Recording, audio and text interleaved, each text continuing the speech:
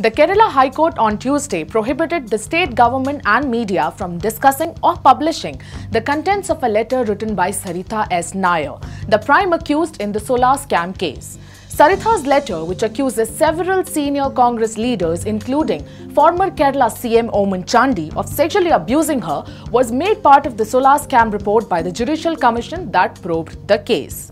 Single bench judge Justice A.K. Jayasankaran Nambiar directed to restrain the letter for two months while considering a petition by Chandy, challenging the findings of Justice G. Shivarajan Commission. Chief Minister Pinarayi Vijayan had tabled the commission report in the State Assembly last month. The report found that Chandy and his staff had provided all help to Saritha and her company to dupe people and earn crores of rupees.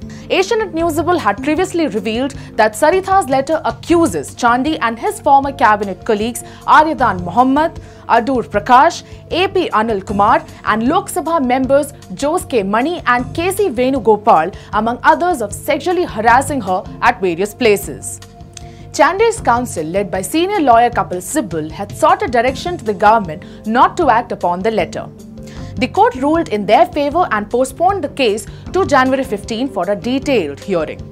In his petition, Chandy alleged that the Commission's findings were based on the letter written by Saritha. The veteran politician said his name was illegally involved in the letter written by Saritha in relation to her alleged sexual exploitation and harassment. The High Court ruling was possibly stemmed from the view that such a case can only be inquired and probed under provisions of the Code of Criminal Procedure and not by a commission.